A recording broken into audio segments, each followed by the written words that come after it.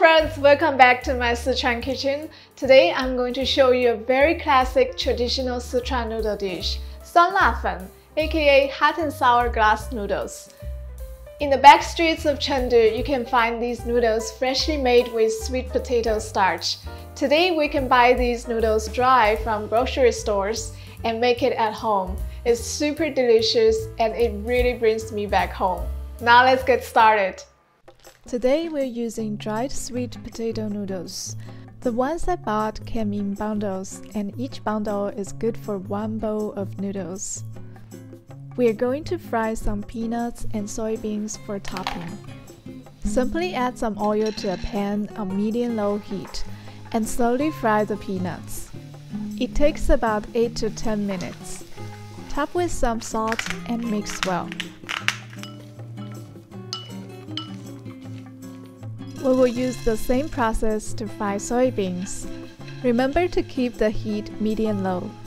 If the oil is too hot, the beans can be burnt and turn black easily. Take out the soybeans and set aside. The peanuts are so crunchy and tasty.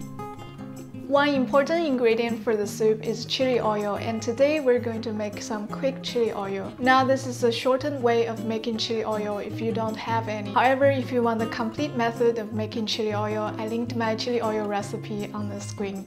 We will combine some chili powder and roasted sesame seeds. Mix it up Heat up some oil. Today I'm using canola oil and any oil without flavor should work. When bubbles come out, testing with chopsticks, adding the spices. I'm using one piece of star anise, one piece of cinnamon, and one bay leaf. You can use your preferred spice mix for the oil. Slowly fry for about 10 minutes. When the spices become darker, take them out. Carefully pour the oil into the chili powder mix.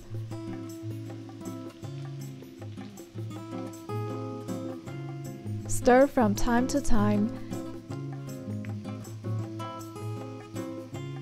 Add 1 teaspoon of vinegar.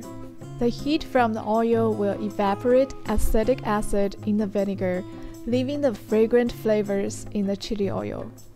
Now the simple homemade chili oil is ready and we're going to make the soup base. In a soup bowl, combine garlic paste, Sichuan peppercorn powder, salt, light soy sauce, vinegar, a little bit of dark soy sauce, 3 to 4 tablespoons of chili oil, plus 1 tablespoon with sediment.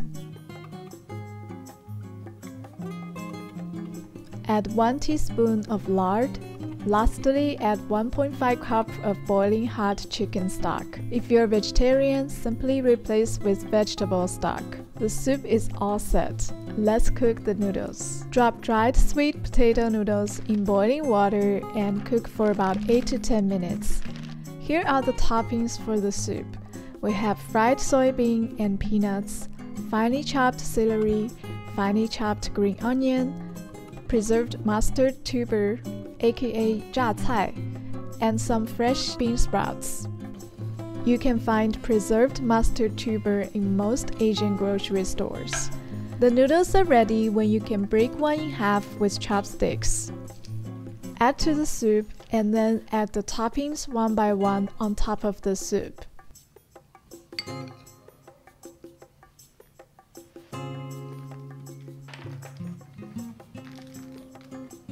Be generous with the toppings and I love to have lots of fried peanuts in my soup.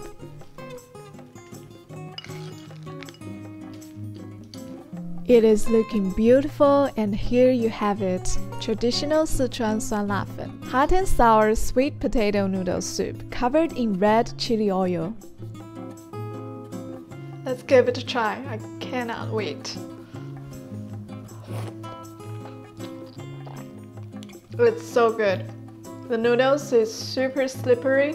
The soup is spicy and sour. It's exact the flavor from my hometown Sichuan Chengdu. Thank you guys so much for watching today's video. I had a lot of fun making hot and sour noodles. Make sure to comment, like, and subscribe and I'll see you next time.